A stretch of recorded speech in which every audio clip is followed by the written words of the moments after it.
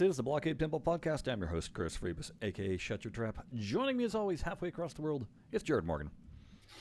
Well, hey there, everyone. How's it going? Uh, I'm doing just good. You're doing just good. Mm. But uh, guess what, Jared? We have one other person that hopefully is doing good. It's Mel Kirk. Hey guys, good to be with Hey, you. Mel.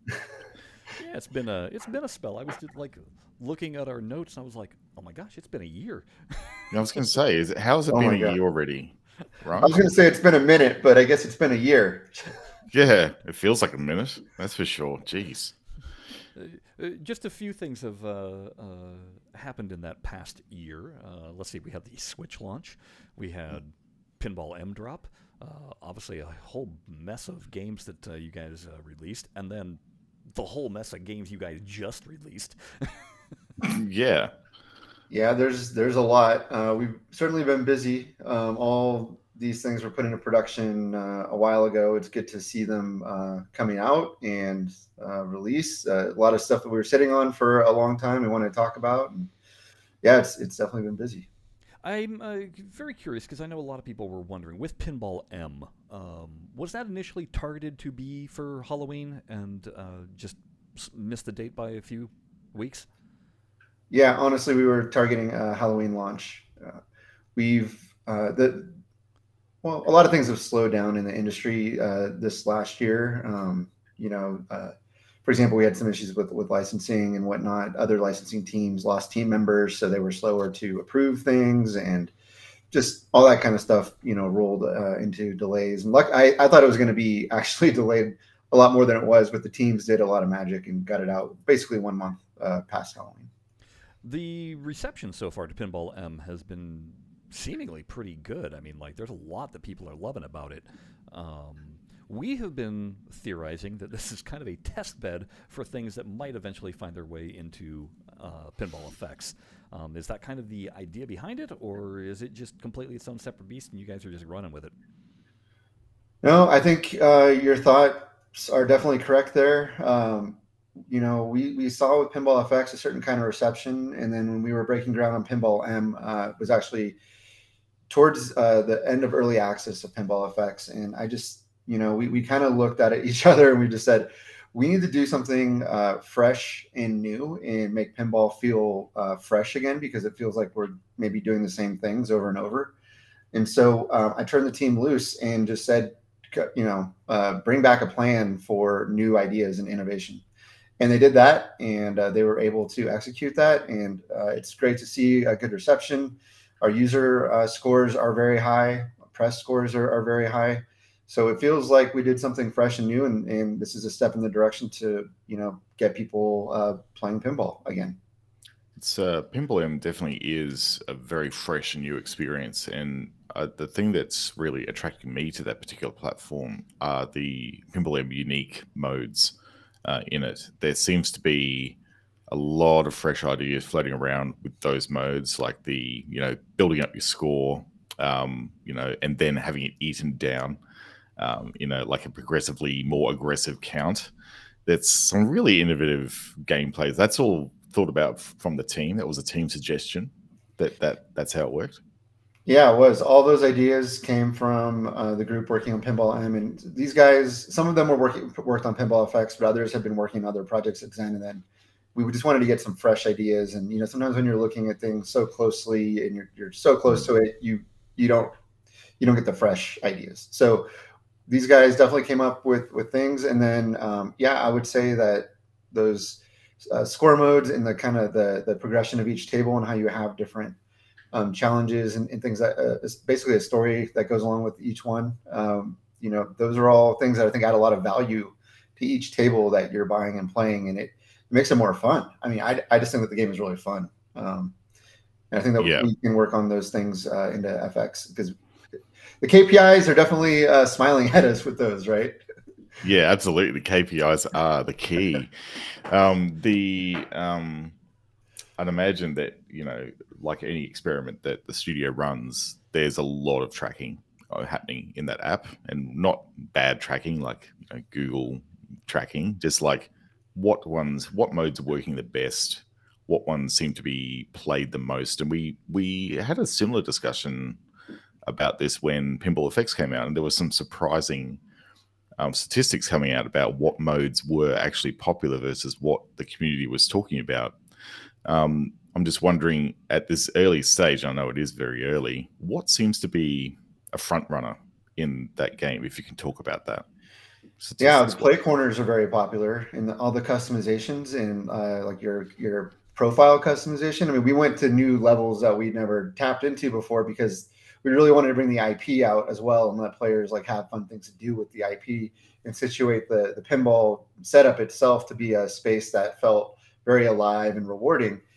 It seems like people really really like that. They're spending time uh, on their player customization and they're doing the play corner updates um, also, just these these new modes, um, uh, the campaigns that go along with each table. It's clear uh, that was a good idea. People like to dig in and like be challenged with specific parts of the table, and um, and then the the daily challenges and the whole the way the whole thing is working together. We just we see uh, really really good results. I imagine dwell that, uh, shiver mode takes off because I really want shiver that mode. in FX mm, to just be able to the lights. It really looks amazing. Yeah, like the the lighting is. It feels like the team has learned a lot from using like onboarding into um, Unreal Engine four and then sort of taking that experience and putting that into Pinball M because it feels like from a, a visual perspective, it just feels that little bit more mature than in, than FX. And I'm sure that again, this is like going all in, trying new things. But it'll be really interesting to like like Chris said, Shiver looks amazing. Um, and, you know, with the capabilities of Unreal Engine 4, you've got this ability to really ramp up the visuals. We've already seen it with Pinball M, like with the HDR and ray tracing and all the NVIDIA reflex stuff, all the tech that's been put into M over the last couple of months as you've been coming more comfortable with the platform. That's, you know, really made a difference, I think, to how the game feels and sort of how it's perceived. So I'm seeing a lot of positive feedback about that just in the Discord itself happening. So yeah, well, thank you for saying that. Uh, it was a long process. It took a lot longer than we thought. I think I've said this to you guys before um, to get everybody up to speed with Unreal. It's not a simple just changeover and new technology and uh, everything works the way you would expect. So learning curve was steep, but we've got the experience now, and I think that we're able to do the things that we originally envisioned. The other thing that I noticed um, that I really think that you finally came into your own on was that HD video display um, mm-hmm. for Chucky mm. and um, uh, the thing. It was just like, oh, that's exactly what you guys should be doing. It's like now it looks like a modern Stern or a yeah. Jack. I mean, or a Spooky. I mean, it's like, that. this is what people are doing. Um, so that's really uh, exciting to see that, and then how you're implementing that. Just other, I mean, trying to think with uh, any of the new Star Trek tables. Is there, Jared? Do you? Is there actually video in those, or is it just graphics? I can't even. Uh, trying to think. There, I think Deep Space Nine has a little bit of vision in it, and um, the Star Trek table, the like the OG Star Trek table, doesn't really have a great deal. But it's the Deep Space Nine table, which I think, as far as yep. video assets, and you can correct us if we're wrong here, Mel, but it feels like that's the most deeply integrated with the show. And even it sounds like original voice actors, not that you can confirm that obviously, but um, it's like it sounds really on point. So if they're sound alikes, they're very, very good sound alikes. Like it seems yeah, there are really there are clips uh, throughout the Star Trek tables from each of the respective materials. Some of them are uh, modified in a way so that it might not look like the film, and there's issues with talent and whatnot mm-hmm. being shown. The HD video player is an awesome idea, but in practice, to get film clips uh, from film television uh, is very difficult. Actually, uh, there's entirely different market uh, licensing teams from the the games group that we have to go through. And we have to get some actor approval or uh, talent approval, and then um, so, and then there's fees on top of that just to pull the clips that are pretty astronomical because you have a team that will go back into the archives and like cut very specific clips out. Um, you think that we might be able to just do our own cuts? You know, hey, we got the, we got a you know our spec that we can just cut straight from a Blu-ray or something, and no, you, you can't do that. It's all licensing is always hard. We know this, right. Mel, right? Like this is the, very difficult. I'd say it's on, on the level of music. Um, it's, oh, it's well, okay. I- That's I- something. I, I one of the things with me just like going, wait, is it there or not? Because literally so many tables just dropped, like 14 tables in the span of a week, something like that. Um, I haven't had time to like really dive into any of them and then like really Mm. sink in and recall what what is happening in any of these. It's just like, dang. Um, one of the things that I've been recently going through, though, Mel, was uh, going through our old podcasts and our old interviews, um, and that includes our first interview with you.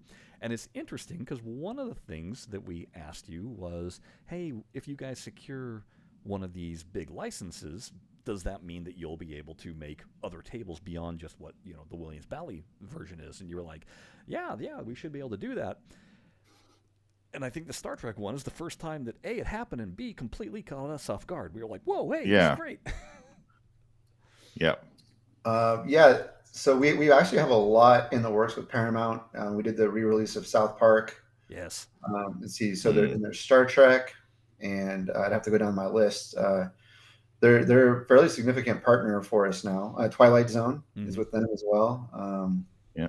uh, there's others. I'd have to look at it. Um, but yeah, Star Trek um, took a long time to do. It's a massive universe with a lot of people associated with it, a lot of decision makers, um, and you know some other delays. Hopefully, I'm not frozen. Yep, there we go. Okay. No, you're right. Um, yeah. Hopefully, uh, no internet problems today. So uh, yes, but Star Trek, um, it, it's just one of those. It takes a long time. Uh, so we were, you know, and, and then we had Game Night Pinball come out and Charlie Brown. I would say that that whole December seventh day was supposed to look different, and some of these were supposed to release uh, earlier in the year.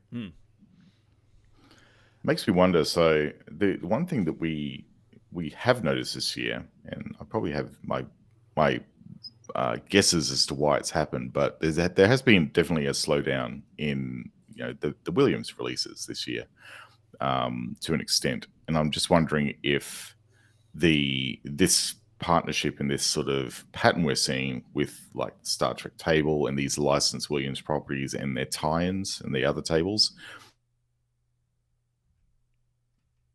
the other ones that we see will actually have that sort of integration coming back again. Um, and, we actually get to see a couple of extra table releases on top of the the core Williams brand and the Williams license. Is is that can you actually talk to that? Is that sort of the plan with some of the delays, or is it just because you know stuff needs to be shifted around? Licensed partners need to have their tables out when they have a due date. You know, there's there's deals to be made and things that you got to do, I guess, right? So, could you speak more about that? It's a combination of things. Um, when we want to do a one-off third-party licensed Williams table with a big licensing partner, it's usually not enough to get a deal done. They want to see something bigger on the table, Mm, and so we present them with a bigger plan and more tables based on different IPs, so that they will let us do the Williams third-party. So that's you know that's this. But how about doing new Star Trek games at the same time? And so uh, we have to, you know, we sign that deal, we commit to the dev timeline, and yeah, that.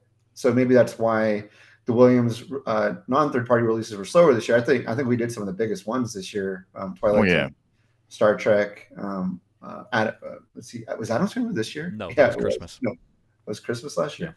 just Okay. out of this year, but still a, a monumental release. And we know that Addams Family is not an easy one to Uh, license. World, World was World Cup? No, That was last year. no, that was last year also. I'm not sure.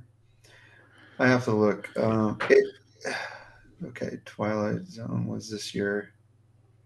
And we are getting into the pointy end of some of these Williams releases now. We are there's not a lot of unlicensed themes left on on the table, On really, the is there? stuff. Yeah. Yeah, on the D and D stuff. I mean, sure, there's there's probably some alpha Oh, you throw in, but you know, we're still dealing with like licenses either way you look, basically. So There's a few big ones that are um, that need to be done and will be done. there's also something that I'm really excited about a, a Williams third party license that will extend into um, original games as well, which I think that's great, really big and really exciting. Yeah. Uh, mm. Let's talk about uh, one other thing that me and Jared both noticed, and that was with the uh, terraforming Mars table. That looks a mm. lot like Mars. And I'm wondering, yeah. can we technically call that a sequel to your Mars table? Um, I, I, I wouldn't like, but I mean, I, I could see why uh, that comparison or you know that statement could be made. Um, but I think uh, working with Firaxis, uh, you know, ideas that we latched onto. So it wasn't, you know, I don't think anyone sat down and said, uh, or maybe looked at it and said, "Is this too much like Mars? Is this considered a sequel or a spiritual successor?" But um, it, it, you know, I can definitely see the comparison. Okay.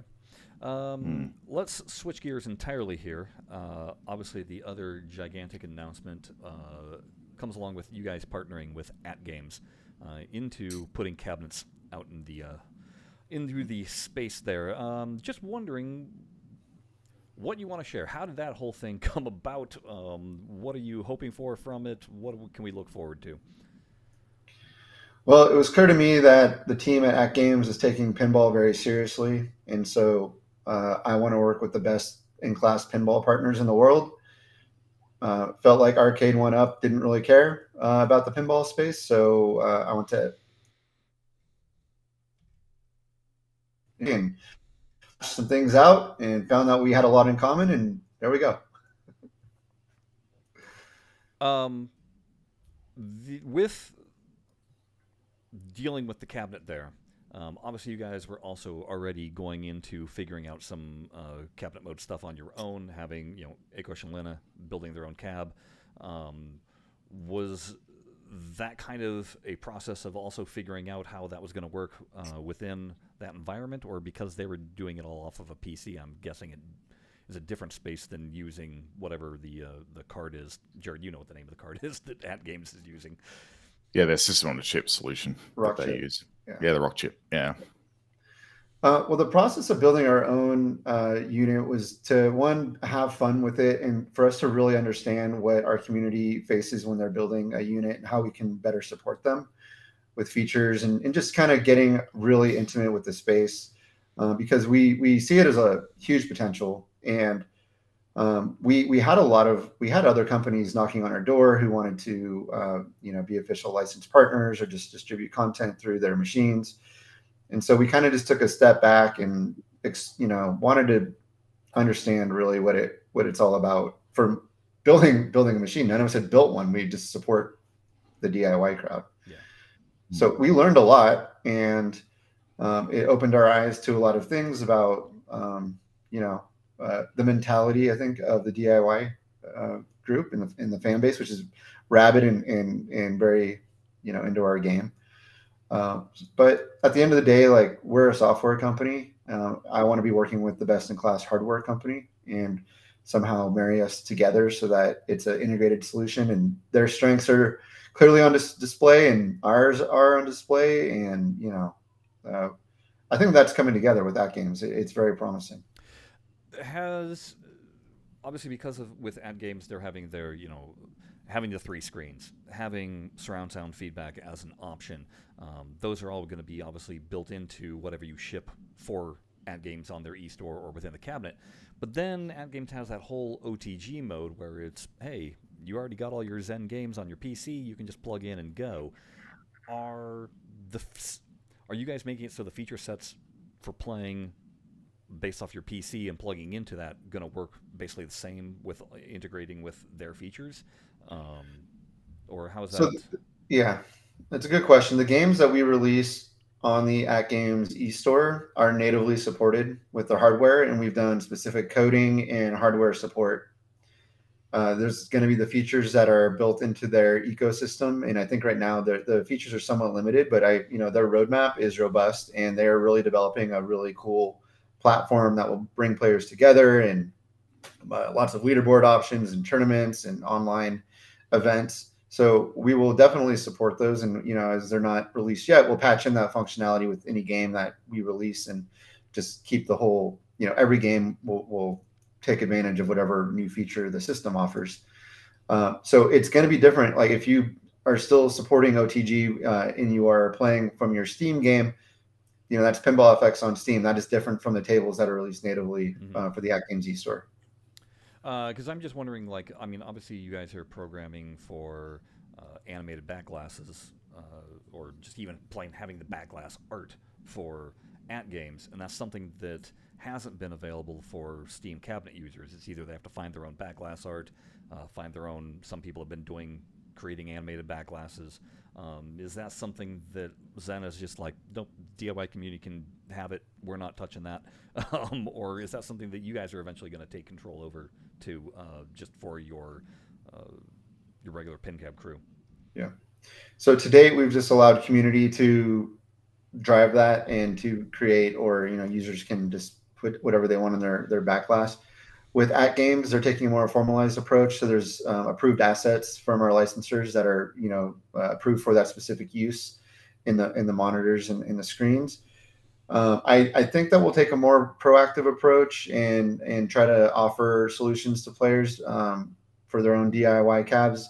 There's uh, some companies out there, and one in particular um, that is, you know would like to be selling licensed, uh, officially licensed backglass images and kind of like he mixes video. And I'm, I'm, trying to remember what the name of it. You guys probably know what it is. Um, he's in our Discord. Um, I think his name is Sean, um, who who runs this company. But I mean, lots of opportunities to uh, to do more there. Mm-hmm. Uh, whether people want to buy it or they just think it's something that should come with the table, you know, we'll we'll see. I kind of I'm of the opinion that we should uh, just supply nice assets to go on your virtual pin cab, uh, so you don't have to go like do a bunch of work, jump through a bunch of hoops, uh, or you know, buy it. But yeah. we'll see what people want to do.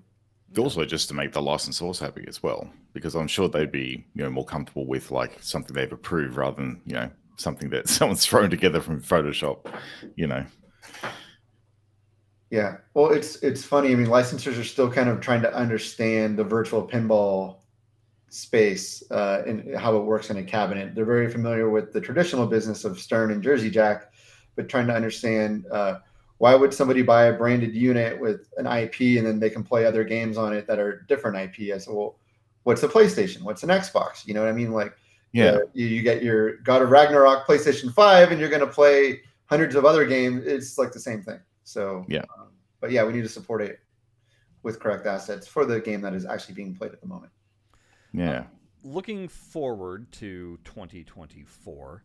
Um, let's get an update on a couple of things that we always throw out at you. Uh, first one being mobile app. Are we anywhere? Is that something that we might see in the 2024 year, or is that pushed beyond? I think you'll see it in 2024. Okay. And uh, our approach is, uh, I mean, we learned a lot from the Williams game. I, I, you know, I'll just give you a short bit. Like it was kind of mm-hmm. complicated the way we monetized. Mm-hmm. I just want to make yeah. it simple. You can buy tables or you can play with advertising. Um, so I, I think right. that just keeping it simple will be very beneficial. That's good. That seems to be the common model now with mobile. Yeah. Like it's either ad supported or you just buy it outright. Uh, yeah. Next one, VR. Mm. Uh, you guys were not looking at my email inbox before we started this. no. no. No. I'm very hopeful uh, for a very uh, for something very big in VR uh, in 24. Okay. That's good news. Yes. I have a Quest 3 waiting for it.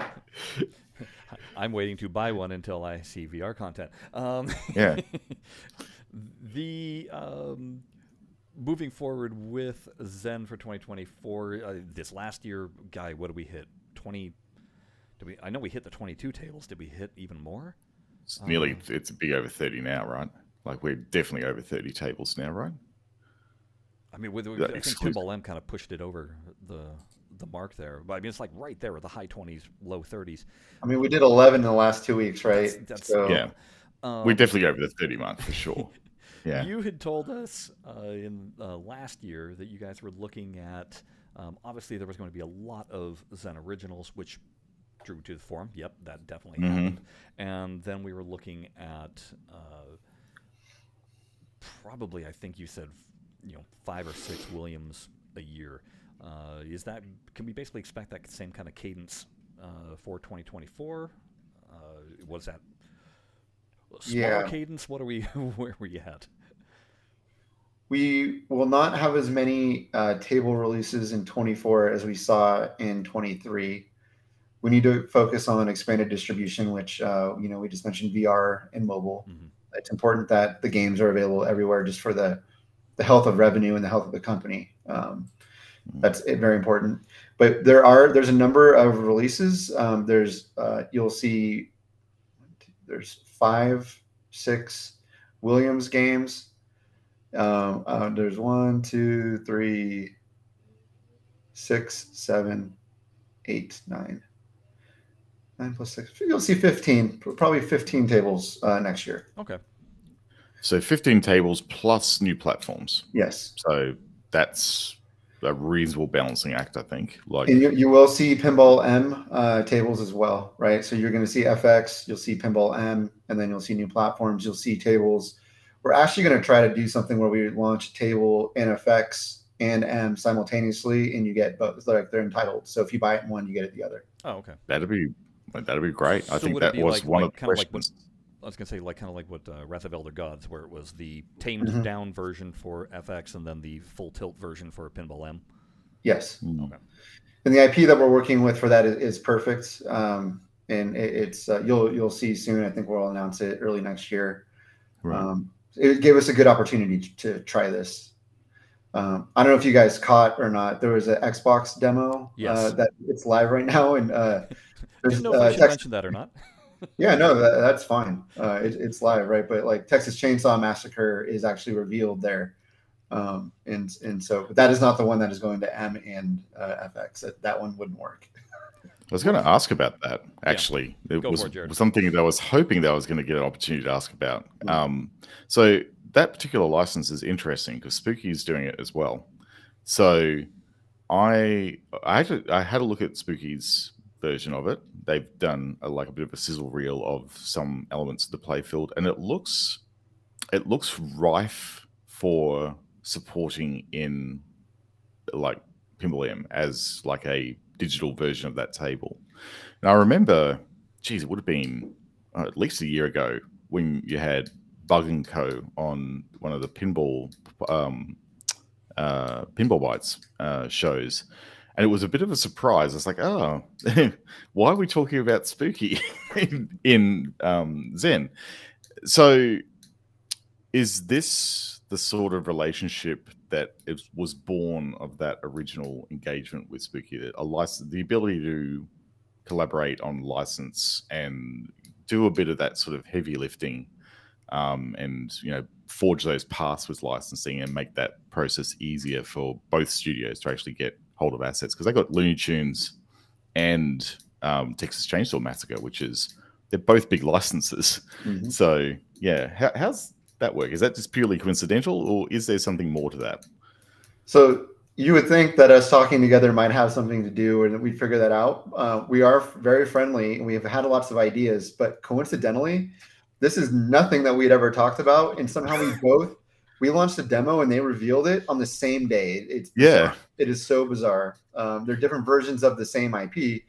Ours is uh, a different version. Uh, theirs is, I believe, after the original, uh, if I'm not mistaken. You can correct me if I'm wrong Right. and ours follows the events of the the Netflix film um, that was uh, released by Legendary Pictures. Oh, okay. Um, right. Both right, dealing so with with the, with the with the uh, the estate, the Texas Chain- Chainsaw Massacre estate is the licensor, but we had nothing to do. We had never talked about this. It's it's quite How freaky. Yeah. That's so so coincidental.